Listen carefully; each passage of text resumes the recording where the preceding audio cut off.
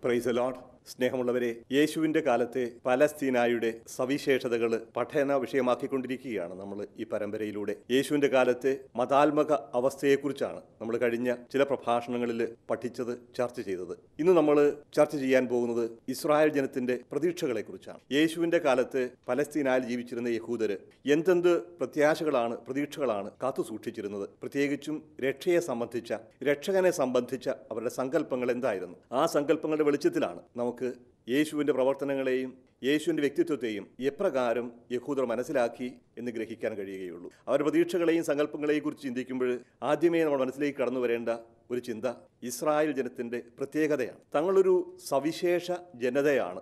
മറ്റു ജനതകളിൽ നിന്ന് വ്യത്യസ്തരാണ് തങ്ങൾ എന്ന് യഹൂദർ എന്നും കരുതിയിരുന്നു. ഇന്നും അങ്ങനെ തന്നെയാണ് അവർ കരുതുന്നത്. ആ പ്രത്യേകത ദൈവം തന്നെ അവർക്ക് നൽകി എന്നവർ വിശ്വസിക്കുന്ന ഒരു വിളിയാണ്. ദൈവം പ്രത്യേകം തിരഞ്ഞെടുത്തതാണ് തങ്ങൾ ഇസ്രായേൽ ജനം എന്നവർ വിശ്വസിച്ചിരുന്നു.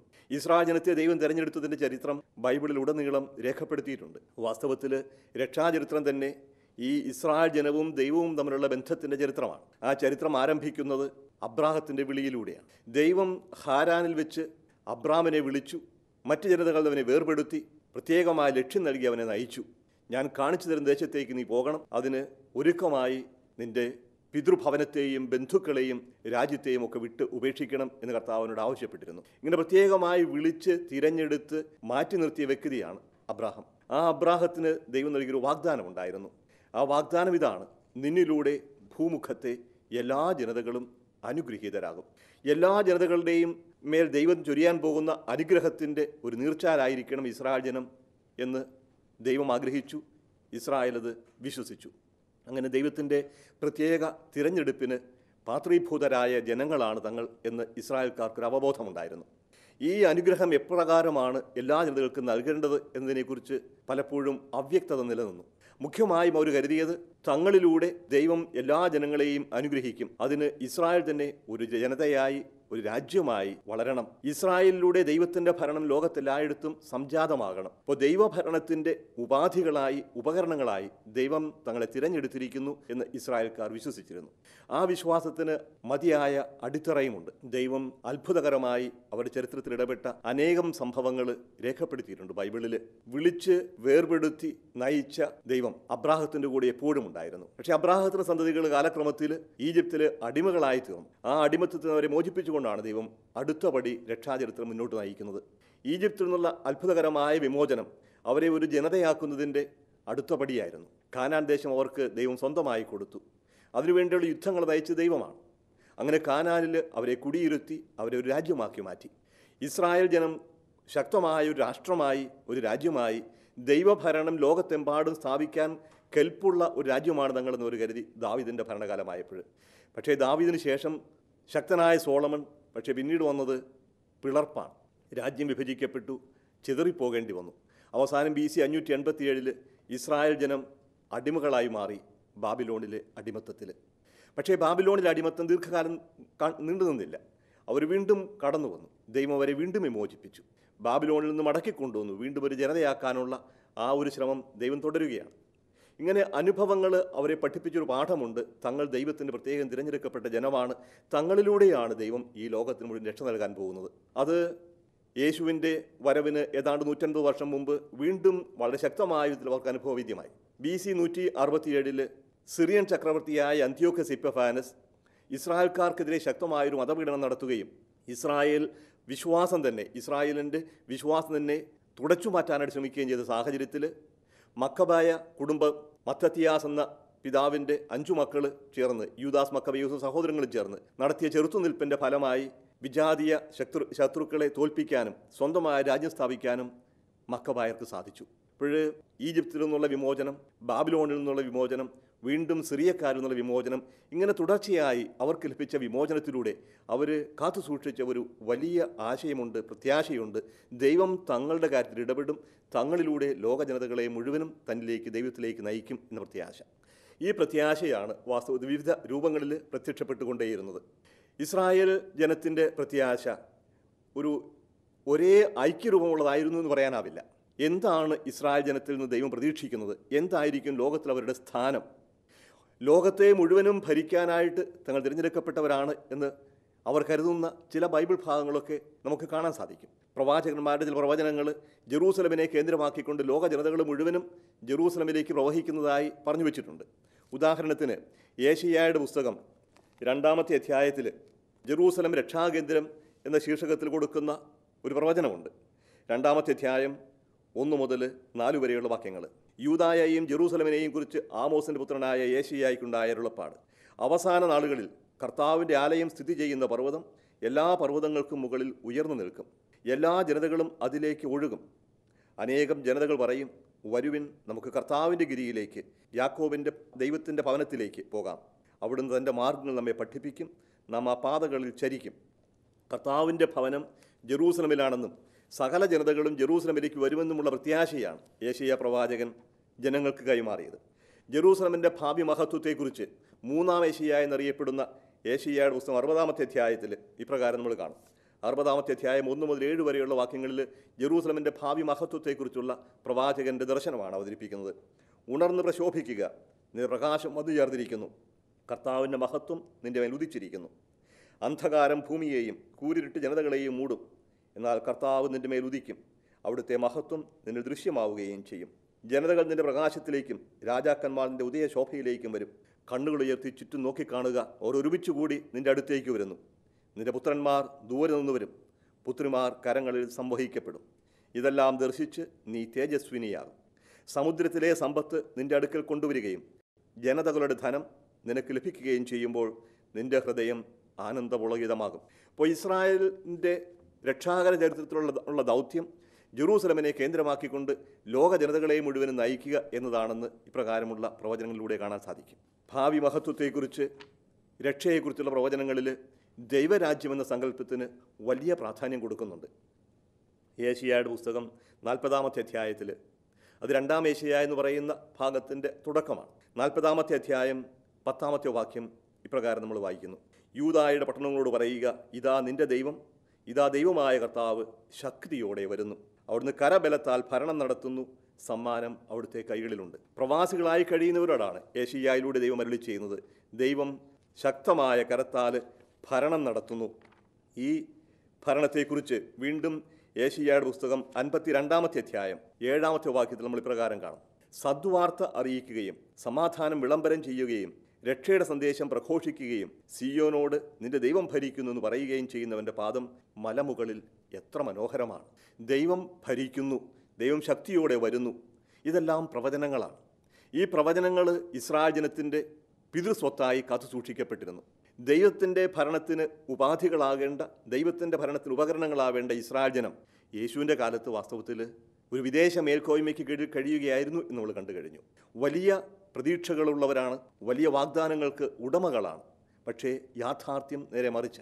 ചരിത്രപരമായ യാഥാർത്ഥ്യം അവരെ റോമിന്റെ ഒരു കോളനിയാക്കി മാറ്റിയിരിക്കുകയാണ്. റോമൻ ഭരണത്തിന് കീഴിൽ കഴിയുന്ന ഇസ്രായേൽ ജനം. കാത്തു സൂക്ഷിക്കുന്ന പ്രതീക്ഷകൾ ആ പ്രതീക്ഷകളുടെ അടിസ്ഥാനമാണ് നമ്മൾ ഇപ്പോൾ കണ്ടത്. ദൈവം തങ്ങളെ പ്രത്യേകമായൊരു ജനമായി തിരഞ്ഞെടുത്തിരിക്കുന്നു പ്രത്യേകമായ ദൗത്യം നിങ്ങളെ ഏൽപ്പിച്ചിരിക്കുന്നു. ലോകത്തെ മുഴുവനും ദൈവത്തിലേക്ക് നയിക്കുക ലോകത്തിൽ മുഴുവനും ദൈവത്തിന്റെ ഭരണം എത്തിക്കുക അതിന് ദൈവം തങ്ങളെ ഒരു ഉപകരണമാക്കി. എപ്പോഴാണ് ഈ ഭരണം യാഥാർത്ഥ്യമാവുക? ആനുകാലിക യാഥാർത്ഥ്യങ്ങളെ തകിടം മറിച്ചുകൊണ്ട് അഥവാ റോമൻ ഭരണത്തെയും മറ്റ് വിദേശ മേൽക്കോയ്മകളെയും തകിടം മറിച്ചുകൊണ്ട് എപ്പോഴാണ് ദൈവം ഭരണം നടത്താനായിട്ട് വരുന്നത്? എങ്ങനെയാണ് ഈ ഭരണം യാഥാർത്ഥ്യമാവുക? അതിനെക്കുറിച്ച് വ്യത്യസ്തമായ കാഴ്ചപ്പാടുകളുണ്ടായിരുന്നു യേശുവിന്റെ കാലത്തെ പ്രതീക്ഷകൾ വ്യക്തമാക്കുന്ന ചില ഭാഗങ്ങൾ സുവിശേഷങ്ങളിൽ തന്നെ കാണും. ഉദാഹരണത്തിന് യേശുവിനെ ദേവാലയത്തിലേക്ക് കാഴ്ചവെക്കാനായി കൊണ്ടുവന്നപ്പോൾ തിരിച്ചറിഞ്ഞ വൃദ്ധനായ ശിമയോനെക്കുറിച്ചുള്ള ഒരു പരാമർശം ശ്രദ്ധേയമാണ്. ലൂക്ക എഴുതിയ സുവിശേഷം രണ്ടാമത്തെ അധ്യായം ഇരുപത്തി അഞ്ചാമത്തെ വാക്യം ഇപ്രകാരമാണ് നമ്മൾ വായിക്കുന്നത്. ജെറൂസലമിൽ ഷിമയോൻ എന്നൊരുവൻ ജീവിച്ചിരുന്നു. അവൻ നീതിമാനും ദൈവഭക്തനും ഇസ്രായേലിന്റെ ആശ്വാസം പ്രതീക്ഷിച്ചിരുന്നവനുമാണ്. പരിശുദ്ധാത്മാവ് അവന്റെ മേലുണ്ടായിരുന്നു കർത്താവിന്റെ അഭിഷിക്തനെ കാണുന്നതുവരെ മരിക്കുകയില്ല എന്ന് പരിശുദ്ധാത്മാവ് അവന് വെളിപ്പെടുത്തിയിരുന്നു. ഇസ്രായേലിന്റെ ആശ്വാസം പ്രതീക്ഷിച്ചു കഴിയുന്നവൻ കർത്താവിന്റെ അഭിഷിക്തനെ കാണുന്നതുവരെ മരിക്കുകയില്ല എന്ന് വാഗ്ദാനം ലഭിച്ചവൻ ഇതാണ് ഷിമയോൻ അപ്പോൾ ഇസ്രായേൽ ജനത്തിന്റെ അന്നത്തെ പ്രതീക്ഷകളിലേക്ക് ശ്രദ്ധ തിരിക്കുന്ന ഒരു സൂചനയാണ് ലൂക്ക ഇവിടെ നൽകുന്നത്. ഇസ്രായേലിന്റെ ആശ്വാസം. എന്താണ് ഈ ആശ്വാസം? ഇസ്രായേലിന്റെ വിമോചനമാണ്. ദൈവം നൽകുന്ന സ്വാതന്ത്ര്യം ദൈവം നൽകുന്ന വിമോചനം. ആ വിമോചനം എപ്രകാരമാണ് കിട്ടുക എന്നും ഇവിടെ സൂചിപ്പിക്കുന്നുണ്ട്. കർത്താവിന്റെ അഭിഷിക്തനെ കാണുന്നതുവരെ മരിക്കുകയില്ല. അപ്പോൾ അഭിഷിക്തനെ അയച്ച് ഇസ്രായേൽ ജനത്തെ മോചിപ്പിക്കും ദൈവം എന്ന പ്രതീക്ഷയാണ് ഇവിടെ നമുക്ക് വ്യക്തമായി തെളിഞ്ഞു വരിക ആ അധ്യായത്തിൽ തന്നെ ഷിമയോന്റെ പ്രവചനത്തിന് ശേഷം രംഗത്ത് വരുന്ന മറ്റൊരു വ്യക്തി ഫനുവേലിന്റെ പുത്രിയും ആഷിർ വംശജിയുമായ അന്ന എന്ന പ്രവാചിക. ലൂക്കായുടെ സുവിശേഷം രണ്ടാമത്തെ അധ്യായം മുപ്പത്തിയാറ് മുതൽ മുപ്പത്തിയെട്ട് വരെയുള്ള വാക്യങ്ങളിലാണ് അവളെക്കുറിച്ച് പറയുന്നത്. ഇവൾ കന്യകാപ്രായം മുതൽ ഏഴു വർഷം ഭർത്താവിനോടുത്ത് ജീവിച്ചു. എൺപത്തിനാല് വയസ്സായ വിധവ ദേവാലയം വിട്ടുപോകാതെ രാപകൾ ദൈവത്തെ സ്തുതിച്ചുകൊണ്ട് ഉപവാസത്തിലും പ്രാർത്ഥനയിലും കഴിയുകയായിരുന്നു. വൃദ്ധനായ ശിമയോൻ വൃദ്ധനായ ഹന്ന. രണ്ടുപേരും ഇസ്രായേൽ ജനത്തിന്റെ കാതലാണ്. ഇസ്രായേലിലെ ഭക്തജീവിതം നയിക്കുന്ന വിശ്വാസികളുടെ പ്രതീകങ്ങളായിട്ടാണ് ലൂക്ക ഈ രണ്ട് വ്യക്തികളെ അവതരിപ്പിക്കുന്നത്.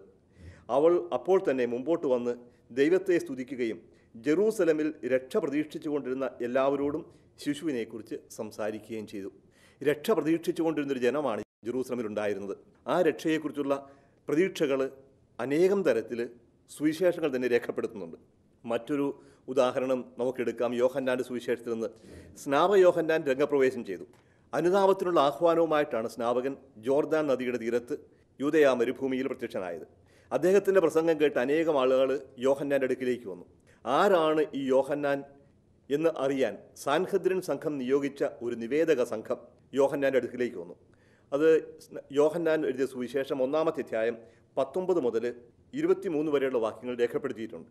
അവരുടെ ചോദ്യവും ആ ചോദ്യത്തിന് യോഹന്നാൻ നൽകുന്ന ഉത്തരവും ഇസ്രായേൽ ജനത്തിന്റെ സമകാലിക പ്രതീക്ഷകളിലേക്ക് ശ്രദ്ധ തിരിക്കുന്നതാണ്. നീ ആരാണ് എന്ന് ചോദിക്കാൻ യഹൂദർ ജെറൂസലമിൽ നിന്ന് പുരോഹിതന്മാരെയും ലേവ്യരെയും അയച്ചപ്പോൾ യോഹന്നാന്റെ സാക്ഷ്യം ഇതായിരുന്നു ഞാൻ ക്രിസ്തുവല്ല. അവൻ അസന്നിഗ്ധമായി പ്രഖ്യാപിച്ചു. അവർ ചോദിച്ചു എങ്കിൽ പിന്നെ നീ ആരാണ്? ഏലിയായോ? അല്ല എന്നവൻ പ്രതിവചിച്ചു. അവർ വീണ്ടും ചോദിച്ചു നീ പ്രവാചകനാണോ? അല്ല അവൻ മറുപടി നൽകി. അങ്ങനെയെങ്കിൽ നീ ആരാണ്? ഞങ്ങളെ അയച്ചവർക്ക് ഞങ്ങൾ എന്തു മറുപടി കൊടുക്കണം?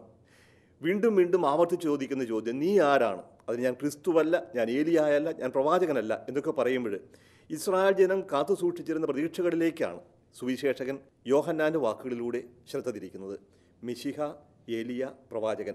ഇതെല്ലാം വരാനിരിക്കുന്ന ഒരു രക്ഷകനെക്കുറിച്ചുള്ള സൂചനകളാണ് നമുക്ക് നൽകുന്നത്.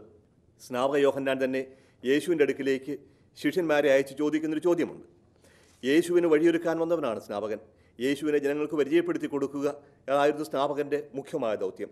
പക്ഷേ താൻ വഴിയൊരുക്കാൻ വന്നവൻ താൻ ജനസംഘ ജനക്കൂട്ടത്തിന് മുമ്പിൽ അവതരിപ്പിച്ച അവൻ തന്നെയാണോ യേശു എന്ന സംശയം? യോഹന്നാന് സംഭവിച്ചതാണോ? അതോ യോഹന്നാൻ ശിഷ്യന്മാരെ പ്രേരിപ്പിച്ചിട്ടാണോ? നമുക്കറിയില്ല. ഒരു സംശയം ഇവിടെ ഉരുത്തിരിയുകയാണ്. ഈ സാഹചര്യത്തിൽ യോഹന്നാൻ തന്നെ സാക്ഷ്യത്തിനു വേണ്ടി ശിഷ്യന്മാരെ യേശുവിന്റെ അടുക്കിലേക്ക് പറഞ്ഞയച്ചു. ലൂക്ക എഴുതി സുവിശേഷം ഏഴാമത്തെ അധ്യായം പതിനെട്ട് മുതൽ ഇരുപത്തി മൂന്ന് വരെയുള്ള വാക്യങ്ങളിൽ ഇത് രേഖപ്പെടുത്തിയിട്ടുണ്ട്. ഈ സംഭവങ്ങളെ പറ്റിയെല്ലാം യോഹന്നാൻ ശിഷ്യന്മാർ അവനെ അറിയിച്ചു. അവൻ ശിഷ്യന്മാരിൽ രണ്ടുപേരെ വിളിച്ച് വരാനിരിക്കുന്നവൻ നീ തന്നെയോ? അതോ ഞങ്ങൾ വേറൊരുവനെ കാത്തിരിക്കണമോ? എന്ന് കർത്താവിനോട് ചോദിക്കാൻ പറഞ്ഞയച്ചു. വരാനിരിക്കുന്നവൻ. അതൊരു സാങ്കേതിക സംജ്ഞയാണ്. വരാനിരിക്കുന്നവൻ. ഇസ്രായേലിനെ രക്ഷിക്കാനായി ദൈവം അയക്കും എന്ന് ഇസ്രായേലിനും പ്രതീക്ഷിച്ചിരുന്നവനാണ് വരാനിരിക്കുന്നവൻ. അതാ നീ തന്നെയാണോ മറ്റാരെയെങ്കിലും കാത്തിരിക്കണമോ? ആ ചോദ്യം ശിഷ്യന്മാർ വീണ്ടും യേശുവിന്റെ അടുക്കൽ ഒന്ന് ചോദിക്കും വരാനിരിക്കുന്നവൻ നീ തന്നെയോ? അതോ ഞങ്ങൾ വേറൊരാ വേറൊരുവനെ കാത്തിരിക്കണമെന്ന് ചോദിക്കാൻ സ്നാപക യോഹന്നാൻ ഞങ്ങൾ നിന്റെ അടുക്കിലേക്ക് അയച്ചിരിക്കുന്നു. അപ്പോൾ വരാനിരിക്കുന്നവൻ അത് ഇസ്രായേലിൽ വളരെയധികം പ്രതീക്ഷ ഉണർത്തിയിരുന്ന ഒരു ആശയമാണ് ഒരു കാഴ്ചപ്പാടാണ് ഒരു പ്രതീക്ഷയാണ്. വരാനിരിക്കുന്നവൻ. യേശു ആഘോഷപൂർവം ജെറൂസലമിലേക്ക് പ്രവേശിക്കുമ്പോൾ ജെറൂസലമിനെ ജെറൂസലമിലെ ജനങ്ങൾ യേശുവിനെ എതിരേൽക്കുന്നത് ഈ ഒരു ആർപ്പുളിയോടുകയാണ് ഹോസാന കർത്താവിന്റെ നാമത്തിൽ വരുന്നവൻ അനുഗ്രഹീതൻ. വരാനിരുന്നവൻ നീ തന്നെയാണ് എന്ന് ജനങ്ങൾ ഏറ്റുപറയുകയാണ് യേശുവിനെ. അപ്പോൾ വരാനിരിക്കുന്നവനെക്കുറിച്ച് വ്യക്തമായ ചില സൂചനകൾ ഇസ്രായേൽക്കാരുടെ ഇടയിൽ ഉണ്ടായിരുന്നു എന്ന് ഇതിൽ നിന്നെല്ലാം നമുക്ക് അനുമാനിക്കാൻ സാധിക്കും. അത്ഭുതകരമായി അപ്പം വർദ്ധിപ്പിച്ച യേശു യേശു തന്നെയാണ് വരാനിരുന്നവൻ എന്ന് ജനങ്ങൾ വിശ്വസിച്ചു. യോഹന്നാനെഴുതി സുവിശേഷം ആറാമത്തെ അധ്യായം പതിനാല് പതിനഞ്ച് വാക്യങ്ങളിൽ ഇതിനെക്കുറിച്ച് സൂചിപ്പിക്കുന്നുണ്ട്. അവൻ പ്രവർത്തിച്ച അടയാളം കണ്ട ജനങ്ങൾ പറഞ്ഞു ലോകത്തിലേക്ക് വരാനിരുന്ന പ്രവാചകൻ സത്യമായും ഇവനാണ്. അവർ വന്ന് തന്നെ രാജാവാക്കാൻ വേണ്ടി ബലമായി പിടിച്ചുകൊണ്ടുപോകാൻ ഭാവിക്കുന്നു എന്ന് മനസ്സിലാക്കിയ യേശു വീണ്ടും തനിയെ മലമുകളിലേക്ക് പിന്മാറി.